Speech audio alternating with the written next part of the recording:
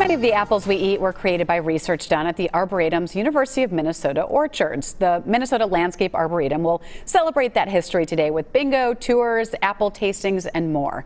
About a mile away, you can find the Apple House, home of the Honeycrisp and more of your favorites. We took a look inside and learned how those delicious bags of apples get ready for customers. At the Apple House, we've got First Kiss, we've got SweeTango, we've got Honeycrisp, We've got um, Wealthy and a few other apples. So many of these apples are ones that the University of Minnesota developed. Absolutely, um, yes. First Kiss is the first one that you pick each yep, year. that's the, that's the earliest one we have right now. And what is that about? What's the taste? It's it's it's a great. It's a it's a nice, um, slightly tart but sweet, um, nice crisp apple. It has that Honeycrisp crunch but just a little bit a little bit tart flavor. Mm -hmm. And that Honeycrisp, that is something that was developed here. Absolutely, Honeycrisp, and in fact, Honeycrisp and and First Kiss were both developed right here. That's so neat to have that history. Uh, yeah, it's a, it's a great program. Uh, the university's been been producing.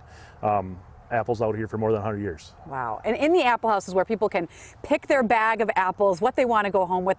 What does it take for your team to get that ready? Well, I mean, if you want to start way back, Honeycrisp, I mean, they, they look they look through thousands of trees every year and try and find out if it's something good, right? If it's good, they put it on, on, on the program and they keep track of it for longer. And as, as things go, once they finally decide, hey, this is a great thing, it gets released and then you come and we plant an orchard like this, which starts out with trees that are just a few feet tall. And it takes, you know, five years or so before we start getting fruit. Wow. And then, you know, an orchard like this has been in for 15 years. And you're picking every day though during the every season yep. to get during apples the, during ready the season, for folks. Yes, I've got I've got people. I've got a crew of, of four to eight people picking daily. So once they're picked, how do they go from here to where people can buy them? Yep. So like I've got a, a crew of eight or so that'll pick fruit. They get loaded on the truck. They go over to the backside of the apple house, and then everything gets hand sorted. So we've got a machine that sorts them by size, and then we've got a, a group of people that are there looking at every single apple to make sure it's the right what are they looking for? Uh, mostly they're looking for damage. Um, if a bird peck is on it, or if there was a little bug chew on it, or if it's just if maybe it was had a little bit of frost and it was deformed a little mm -hmm. bit. Um, they're all saleable. It's just a matter of what quality. So if it's a first quality fruit, it should be perfect, right? They might have a small little something, but otherwise it is perfect. If it's a second quality, it has a small blemish.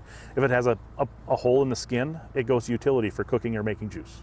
And inside the Apple House, there's a lot that you can buy in there besides just the oh, apples that are picked out absolutely, here. Absolutely, yes. I mean, it, it kind of started with the apples, but it's grown into a lot of other stuff. There's a lot of apple-related products and a lot of other, you know, a lot of um, mixes for making cakes or mm-hmm. bars or soup or you know they do a lot of apple related things but we've got a lot of other stuff going on sure so. and when people bring their apples home what's the best way to keep them good uh, my, my first response on that one is always keep them in the refrigerator. They do best if they're cooled.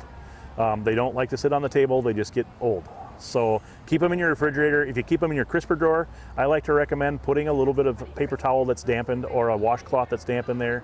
Refrigerators pull the moisture out of things. Apples have a high percentage of moisture. Mm -hmm. So it'll, it'll start to desiccate, it'll take that water away from them. So if you can keep a damp cloth in with them, I'm not talking soaking wet, just yeah. damp, and just make sure it stays like that. They'll last a lot longer. Okay, great advice. And um, it's fun to also see the mini donuts and the cider and everything else, and then pumpkins come later too. Uh, yeah, starting next week, they're going to have a large picking, and we should start start seeing pumpkins out there at the end of next week.